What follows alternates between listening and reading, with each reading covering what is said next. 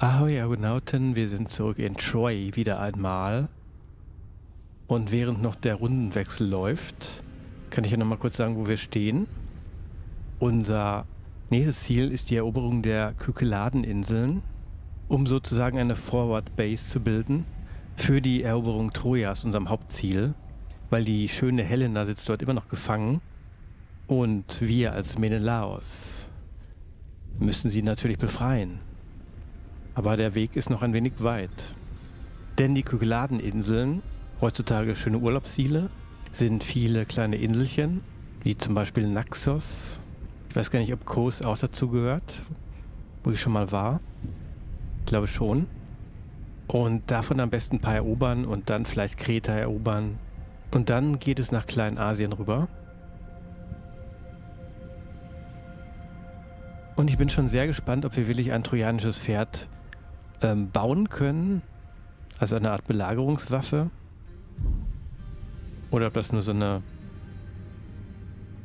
Beigabe ist, um die Belagerungszeit zu verkürzen oder in die Stadt zu schleichen. Hm, das werden wir dann sehen.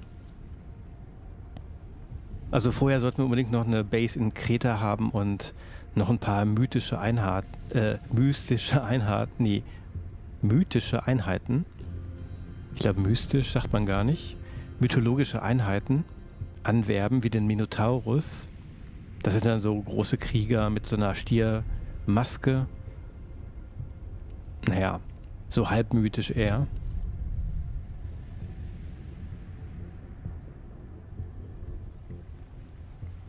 Genau, genau das Kreta, Knossos. Und ich denke, wenn man das Labyrinth besitzt, kommt man auch an den Minotaurus dran. Allerdings sind die, ist die Knossos-Fraktion noch keine feindliche, nur Westkreta. Da müssen wir sehen, ob wir die mit denen ein Bündnis eingehen können oder ob wir Kreta ganz erobern. Genau, da ist auch ein Spion, der Botton heißt. Deswegen hatte ich meinen Spion in der letzten Folge Bondos 007 genannt. Bei den Spionennamen haben sie wohl ein bisschen gespart.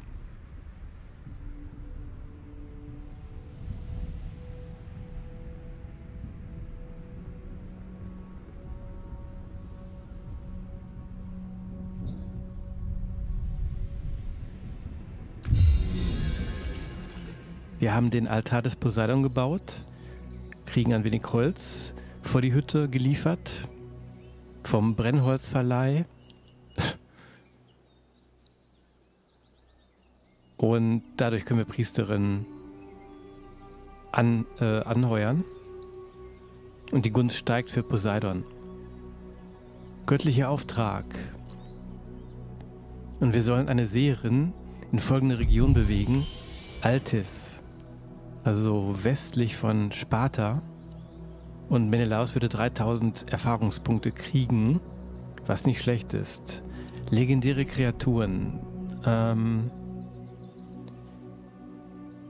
rekrutiert eine mythische Einheit, genau. Da weiß ich jetzt nicht, ob die Minotauren gemeint sind oder die Harpien, die wir auf den Kykeladen anheuern können. Hm. Ähm, das werden wir sehen. Muss ich vielleicht nochmal nachlesen, wie das unterschieden wird. Und wir sollen ein Verteidigungsbündnis mit einer oder mehreren danarischen Fraktionen schließen. Also, ich schätze mal, ja, ich rate mal, also die Griechen um uns herum. Aber das muss ich nochmal nachschauen.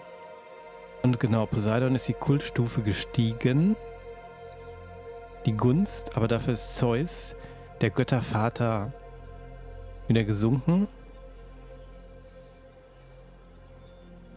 und schickt uns wahrscheinlich wieder einen Blitz oder ein Erdbeben. Wir sollen noch einen Agenten rekrutieren. Jede Menge Missionen.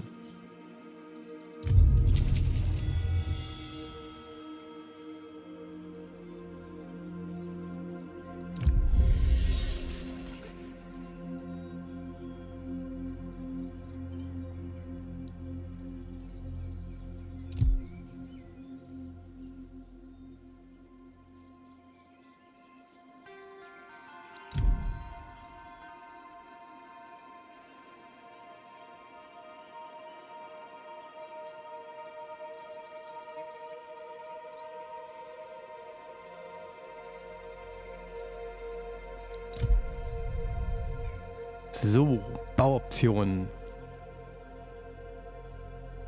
Und wir sollten unsere Nahrungsproduktion ein wenig fördern. Die geht nämlich leicht ins Minus. Genau. 200 Nahrung plus. Das wäre gut. Ähm, wir können den Tempel des Poseidon aufwerten. Bietet einen weiteren Slot für eine Priesterin.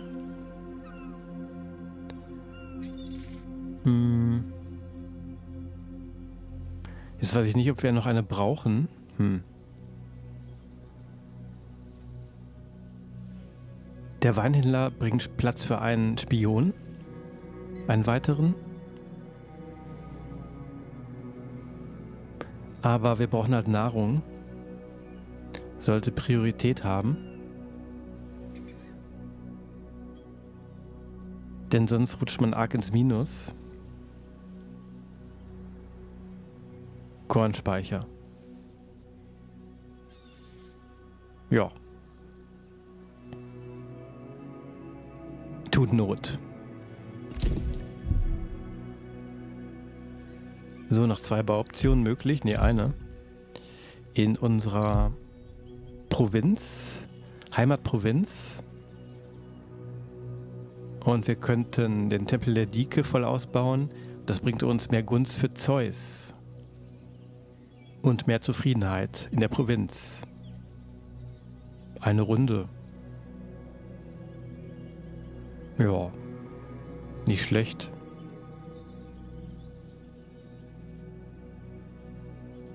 Sollte ich tun.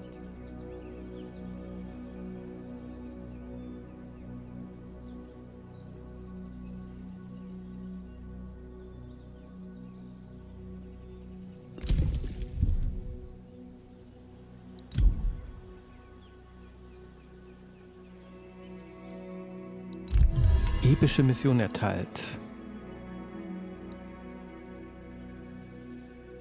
Ach so, das war das mit dem Verteidigungsbündnis mit den Danoan oder Danonian. Ähm, da muss ich mal nachschauen.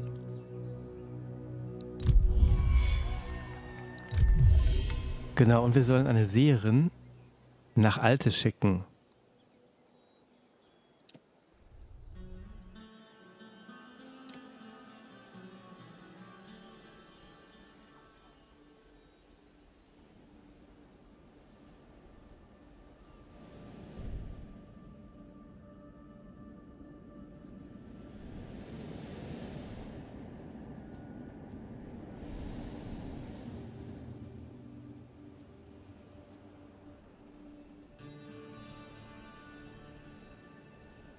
Das ist unsere Hauptstadt Sparta.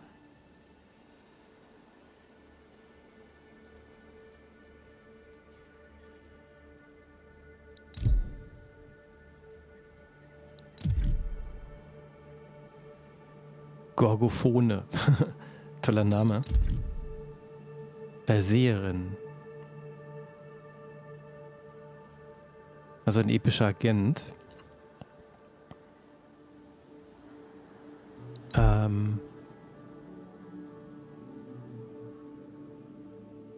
So, wir verfügen bereits über die maximale Anzahl. Ähm, hatten wir jetzt schon eine bekommen? Oder fehlt uns noch ein Gebäude?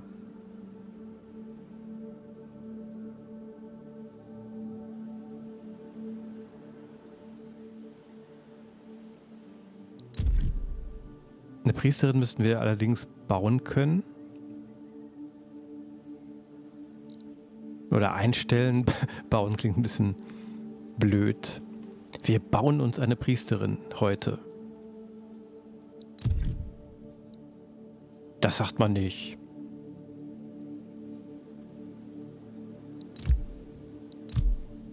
Rekrutieren wäre noch eleganter.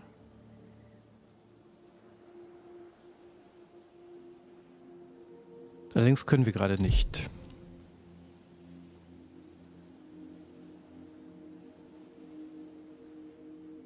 Ja, wir haben kaum noch Holz.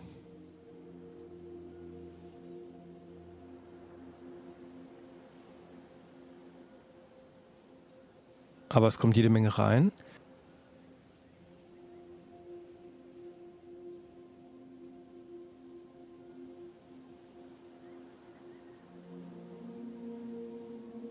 Müssen wir also auf die nächsten Runden verschieben?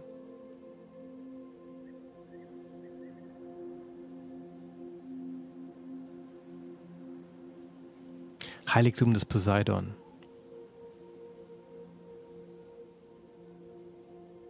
Hm, nicht schlecht. Bringt auch mehr Priesterinnen.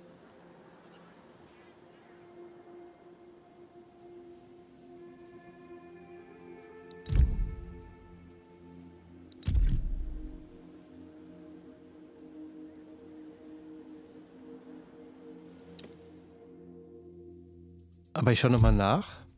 Das hat nichts mit den epischen Agenten zu tun. Die Priesterin.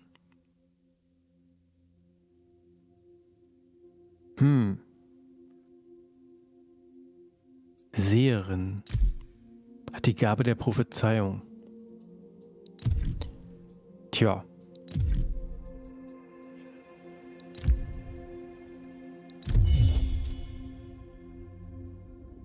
Keine neuen Kolonien verfügbar.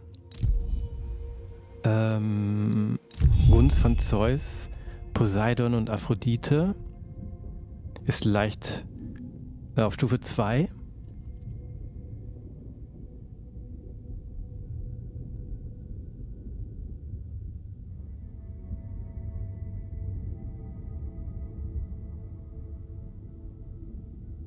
Und je höher die Gunst ist eines Gottes, desto bessere Vorteile kriegt man bis zur königlichen Präsenz. Dort gibt es zum Beispiel den Minotaurus. Aha.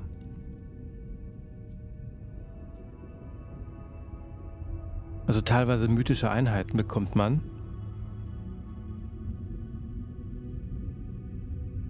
Aber das ist äh, von Gott zu Gott unterschiedlich. Und da kann man auch eine Seherin kriegen bei Apollon. Also muss ich die Göttergunst nach oben treiben. Das bringt immer Vorteile. Ist allerdings auch nicht so ganz billig, weil das halt Ressourcen kostet. Tja, Seherin, also Apollon.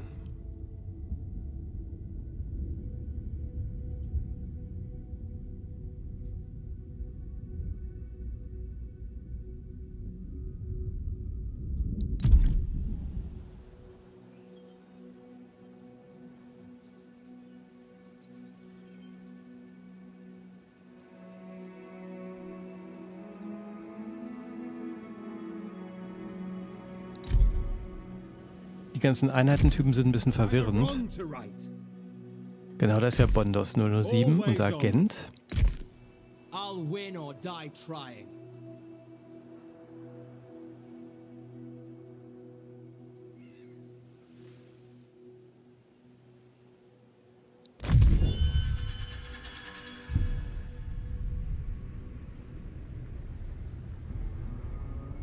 Und Rundenwechsel, was passiert?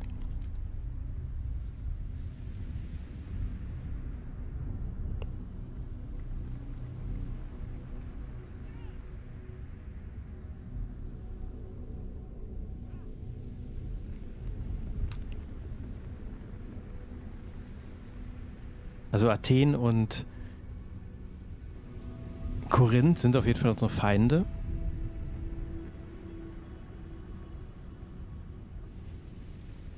Die werden wir halt umgehen, indem wir die Kykladen erobern. Es macht also keinen Sinn, über Nordgriechenland zu gehen. Denn da sind die Athener. Und die haben uns angegriffen. Oh, eine Möwe.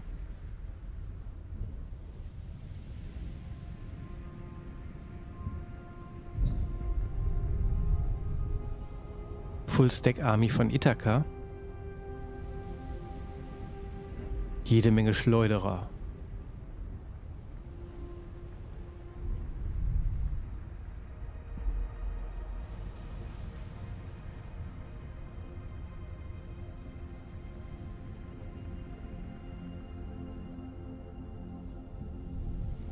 Die Heimat von Odysseus.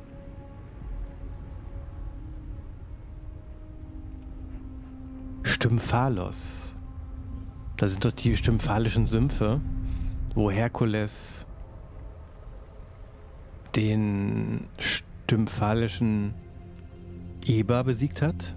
Oder Löwe, eins von beiden. Nee, die Vögel. Stymphalische Vögel, glaube ich. Riesenvögel.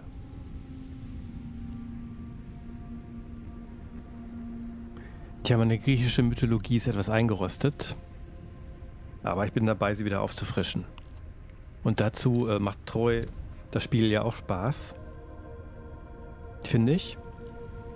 Also mir zumindest. So, wir spulen mal vor, das dauert nicht zu lange. So, was? Okay, die Magneten haben den militärischen Zugangspakt beendet. Na und? Ähm und ein Verbündeter wurde angegriffen. Die Arcadia. Von Elis.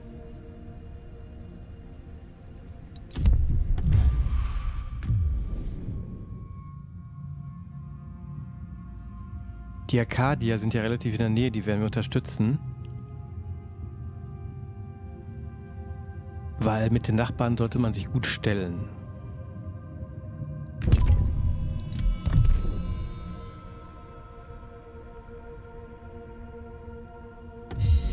Epische Mission erfolgreich. Schließt ein Verteidigungsbündnis mit einer danaischen Fraktion, das hatten wir wahrscheinlich schon. Wow, wir kriegen Erfahrung und Motivation für alle Helden. Das ist gut. Also Erfahrung für den König Menelaos.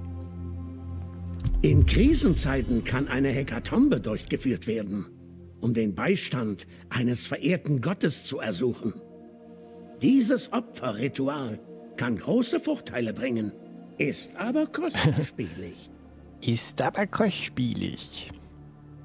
Also Hekatombe ist ein Opferritual. Und wir haben jetzt zwei Optionen. Wow, plus 300, 3000 Nahrung pro Runde. Das ist natürlich für vier Runden. Durch Fischerei. Das sollte ich tun. Und schon wieder eine Mission kommt rein. Beginnt ein Hekatomben-Ritual. Okay. Werden wir tun.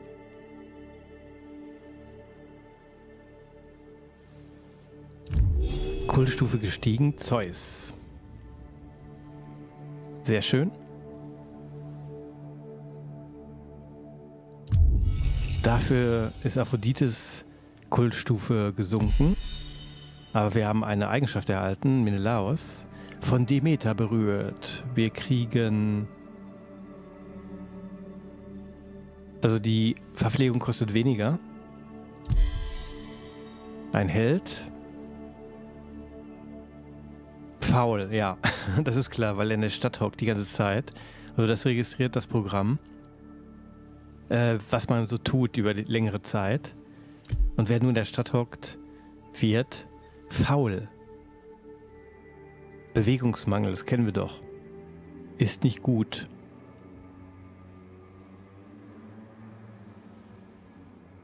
Ah, das Wasser ist so schön. In der Ägäis.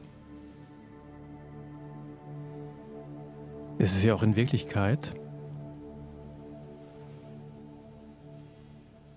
So. I'll do it right. Ähm. Hm. Ach, Argos, unsere Verbündeten. Ich dachte schon Feind. Glück gehabt. Always outclassing the enemy.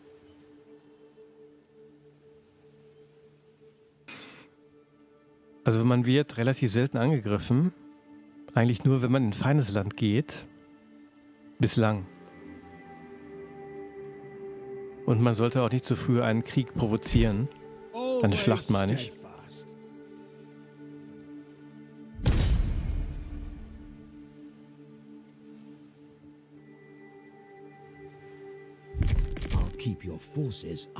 So, Spione in die Armee gepackt.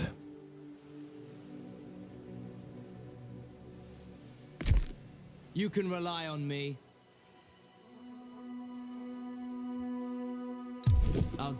Und ich hoffe, das gibt mal ein bisschen Erfahrung für unseren Spion 007. So, wir haben schon drei Kykeladeninsel erobert, besetzt. Teilweise durch Eroberung, teilweise durch Koloniegründung. Und ich hoffe, dass noch ein paar Kolonien verfügbar werden. Sonst müssen wir alle erobern. Das ist ein bisschen, ja, anstrengend. Kostet viele Männer. Hm.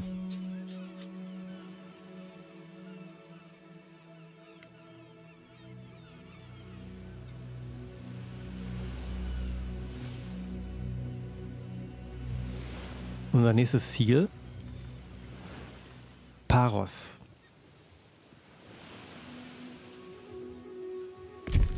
Wir spähen zumindest mal. Da ist Naxos. Eine schöne Urlaubsinsel. Scheint aber besser befestigt.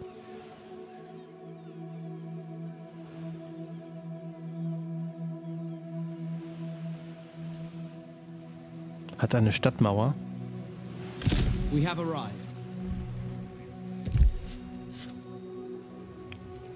Also Naxos.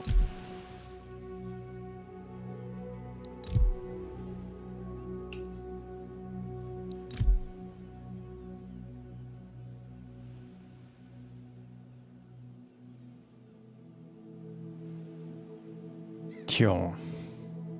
Klar, Armee haben sie in der Stadt.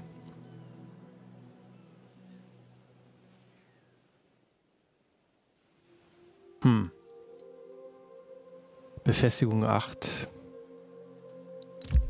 Wir haben sie fast alle.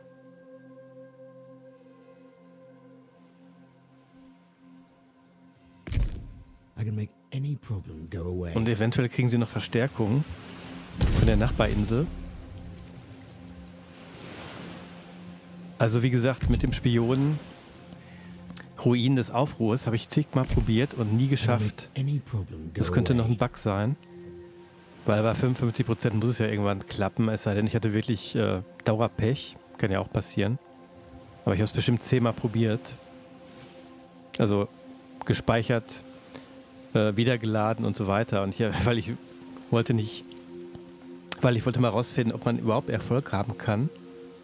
Aber das hatte ich nicht. Und deswegen hat Botton 007 so wenig Erfahrung. Weil er es nie schafft, Aufruhr zu stiften. Also es kommt mir fast wie ein Bug vor. Bei der Wahrscheinlichkeit. So, was bauen wir? Heiligtum des Poseidon Stufe 2. Bringt auch mehr Priesterinnen.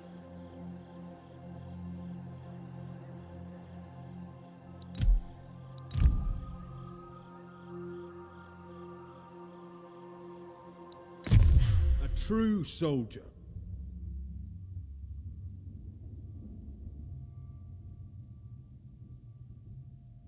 Und wir können unseren König mal wieder aufleveln. Durch erfolgreiche Missionen. Bringt jetzt nicht so viel, aber er kriegt neue. Bringt jetzt nicht so viel, aber er kriegt neue Skills. Also zum Beispiel Schildwall. Bestimmt für die Verteidigung ganz nett.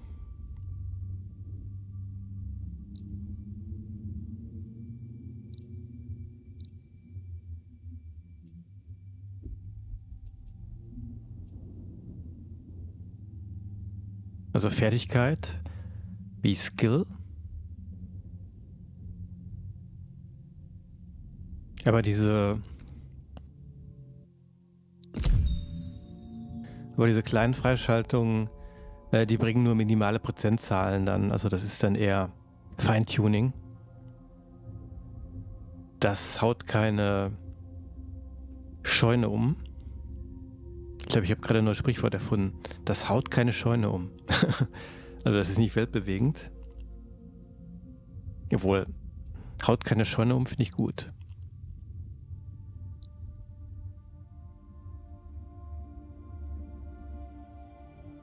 Schade, dass Menelaus sich nicht bewegt hier im Bild.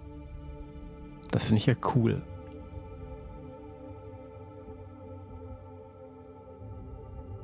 Man kann nicht alles haben. Gütiger Gastgeber. Okay, noch ein Punkt. Ein Skillpunkt.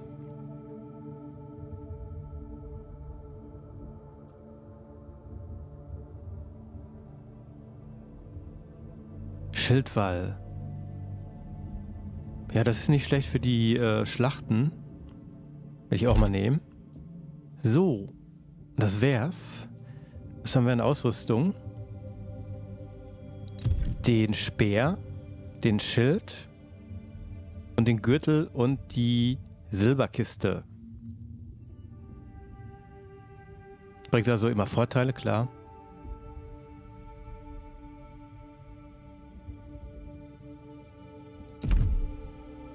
Ich weiß gar nicht, ob man die Gegenstände transferieren kann an andere Helden.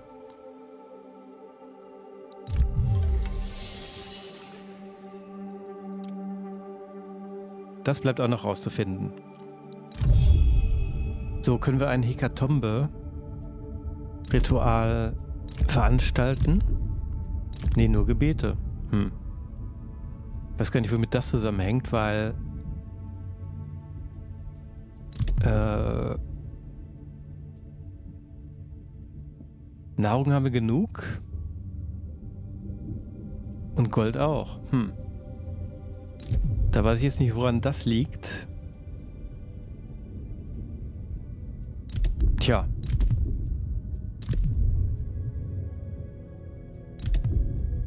Selbst bei Zeus nicht und Poseidon ist keine Hekatombe möglich.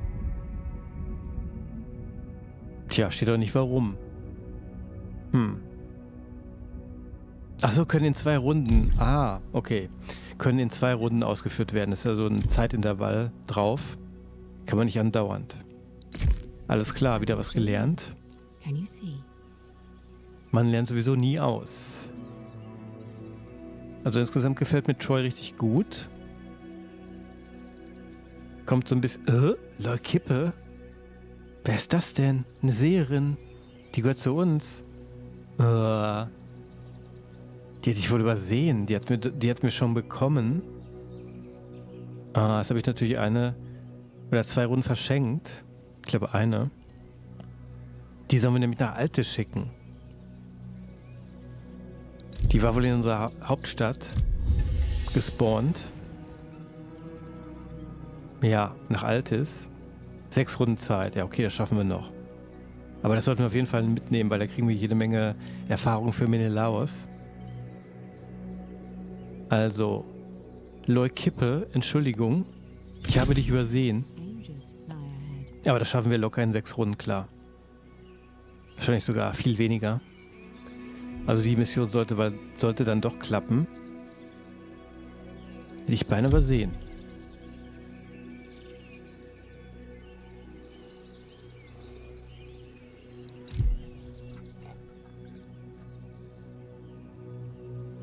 Man sollte seine Helden also nicht zu lange in der Garnison rumsitzen lassen, sonst werden sie faul.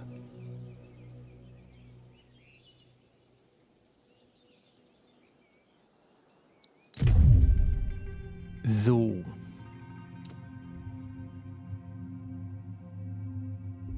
Lohnt sich noch ein Bau? Leuchtfeuer. Ja. Das sollten wir noch mitnehmen. Bringt mehr Erfahrung in der Provinz, mehr Sichtweite. So, ich denke, das wäre es dann auch.